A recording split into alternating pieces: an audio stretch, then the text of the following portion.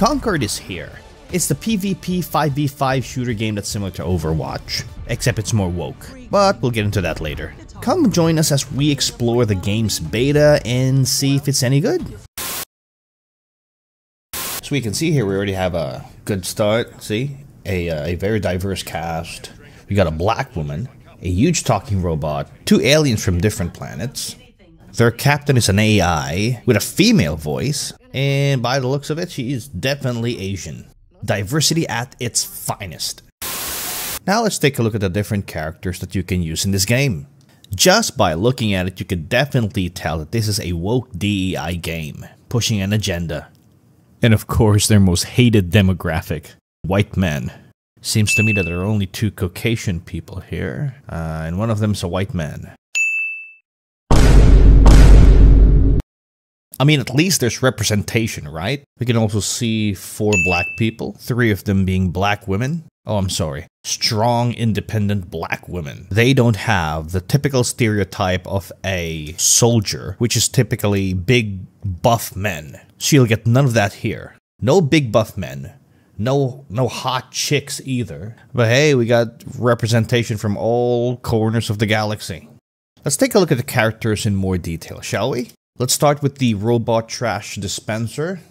Okay, here we are. And all right, there you go. One off. He, him. Of course. This is what separates Concord from all the other video games out there. Now you can see their pronouns. Not in a million years would I have thought that this trash dispenser robot is a he, him. But thankfully, you know, the video game gives us a hint Thank you very much. Let's move on. Speaking of the soldier archetype, here we are. We have Emari, except it's a she, her this time. If men can do it, so can women. Gone are the days when you have a big buff macho man carrying a Gatling gun. Now that's a woman's job. Ah, the first non binary character in a video game shooter. De. They're a breacher, they, them, okay? You gotta get the pronouns right. Otherwise, you're a bigot. She does have feminine features, but, uh, you know, she's. I mean, they, they, they have. They are non binary, so yeah. So yeah, a lot of cool characters. Each one of them have their pronouns in there as well, so make sure that you don't misgender them and stuff like that. We even have an old grandma playing with us. To represent the elderly community, there you go. We got Duchess, she, her. She's a ranger, pretty hot granny with a machine gun. Yeah, might be might be one of the coolest thing out there. And then we have this guy who at first I thought was a white guy, but based on our research, he's actually Hispanic. We got Teo, he's a ranger, of course, typical machine gun, stuff like that grenades, machine gun, has a pistol. Yep, there you go. Here we have Daw, tactician, he, him. Hmm, that would have been a little hard to tell it was a guy. But yeah, Daw, to represent the, uh, I don't know, plus size community, I guess. He's a uh, healer, healing pads, blah, blah, blah. Yep, there you go. One for everyone. We've got robots, we've got Oh, look at this. Um, undecided. So no gender yet. He hasn't. She hasn't. They haven't decided yet what their gender is, or their pronouns are. Could be Zer for all we know. Damn, not a single hot chick in this roaster. Which is good because sexualizing the female body in video games is a bad thing. No, no, no. Nothing. No cake for you, no boobs, no titties, not not even a bare leg. But hey, overall, it's an interesting cast. Very interesting, very colorful. So far, the bed is looking great. We have some light and fun cutscenes here and there.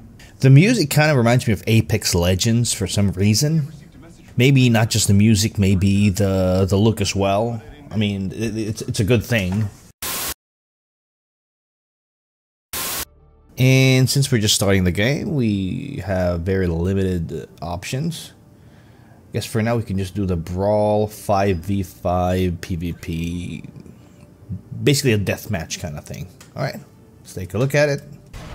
After some waiting, we basically start our match, and here we are greeted by a cutscene, which is kind of long. It, it, it is kind of long. I, I kind of wish we just, you know, go straight to the death match and to just start playing instead of having this cutscene here. Ah, and we're finally here. We get to select our free gunner. Yep, that's what they're called, free gunners. I'm not really sure who to pick here, but um, I don't know. I guess we'll just go with our gut here. And here we are. Well, it is Overwatch, just a different name first person shooter, and when you die, you get to choose another one or the, same person. So far, it's not bad. It's uh, it's kind of fun. It definitely has a huge potential, but you know we'll we'll see when it comes out. It really helps if you have a good team, meaning they play good and that they don't leave, because once you're short by a teammate, it's really hard to win. So far, I'm really enjoying it, especially I, I, enjoy exploring each and every free gunner there is, their weapon, their ability, how to use them. It's, it's really interesting. Each free gunner has their own mechanic, which allows you to explore a different playstyle. In conclusion, I think that Concord is worth the look. It is a game that you can definitely enjoy with your buddies, or even alone. And if you keep a blind eye on all the woke and DEI propaganda, I'd say the gameplay itself is enjoyable. But does it have what it takes to go against similar games such as Overwatch or even Counter-Strike? Or will it be forgotten just like many others? We'll see how it does very soon. Until next time, if you've made it this far, please don't forget to hit the subscribe button in order to support our channel and for more gaming content. See you in our next video.